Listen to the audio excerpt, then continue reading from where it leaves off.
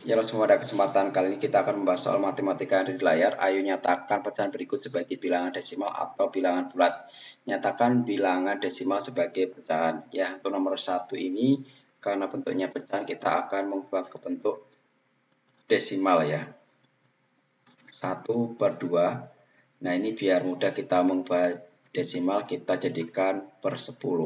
Maka ini dikalikan 5, yang atasnya juga kita kalikan 5. Nah, 1 kali 5 adalah 5, sehingga 5 dibagi 10 adalah 0,5. Kemudian yang nomor 2, yaitu 16 dibagi 8. Ini dapatnya 2 ya, tidak bisa kita hitung. Kemudian yang nomor 3 di sebelah sini, 1, 1 per 5, kita ubah menjadi pecahan biasa terlebih dahulu, yaitu 5 kali 1 adalah 5, tambah 1 jadi 6, jadi 6 per 5. Nah, kemudian kita akan mengubah jadi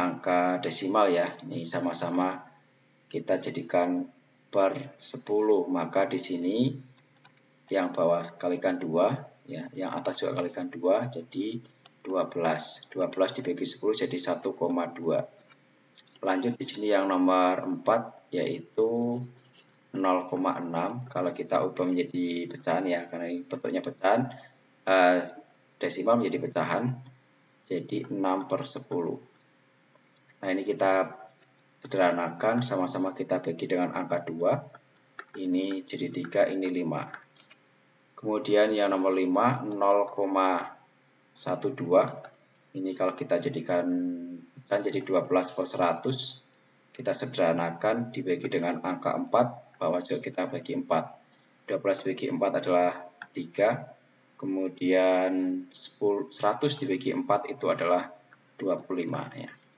Nah itu saja yang saya sampaikan, semoga video ini bermanfaat. Jangan lupa untuk like, komen, share, dan klik tombol subscribe serta klik tombol loncengnya. Terima kasih.